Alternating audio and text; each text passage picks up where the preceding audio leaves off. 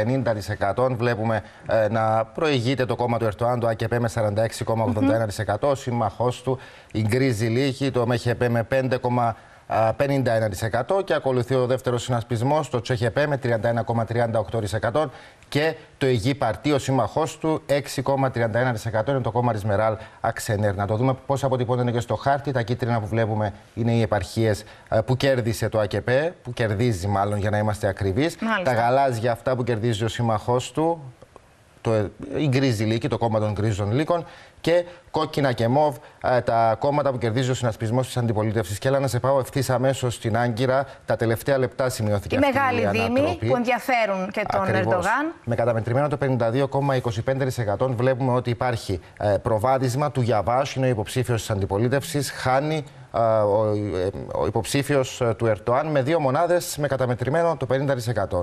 Πάμε στην Κωνσταντινούπολη για να δούμε ότι προηγεί τον Πιναλή Κιλτηρή. Είναι ίσως το μόνο ξεκάθαρο από τους Δήμους που θα δείξουμε. Είναι ε, με τρεις μονάδες, τρεις ήμιση μονάδες πάνω και καταμετρημένο το 71%. Επομένως. Δύσκολο να ανατραπεί. Ε, ο τελευταίος πρωθυπουργός της χώρας ναι. θα είναι και ο επόμενο δήμαρχος της Κωνσταντινούπολης και στη Σμύρνη όπου υπάρχει ξεκάθαρο προβάδισμα του υποψηφίου της αντιπολίτευσης με καταμετρημένο το 40% προηγείται με 58,24%. Μάλιστα. Λοιπόν, αυτή είναι η πρώτη εικόνα των αποτελεσμάτων.